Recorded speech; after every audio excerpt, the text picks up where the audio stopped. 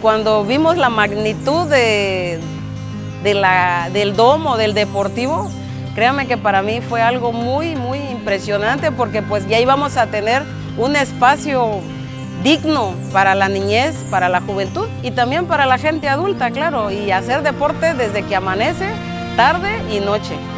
No, fíjate que sí, ya, ya, era, era justo y necesario que Salina Cruz este, progresara en ese, en ese aspecto, en el, aspecto de tener espacios dignos, deportivos, familiares y una gran obra como es el Malecón. El programa de mejoramiento urbano es de las estrategias prioritarias del Gobierno de México. Llevando bienestar a las colonias más pobres del país, hoy se construye obra pública de calidad de norte a sur.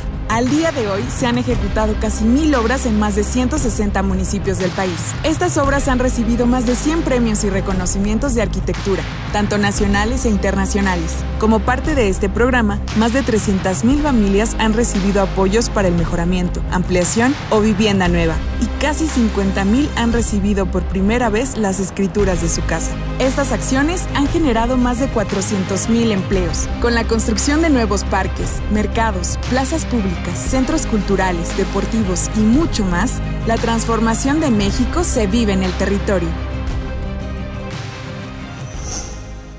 Gobierno de México.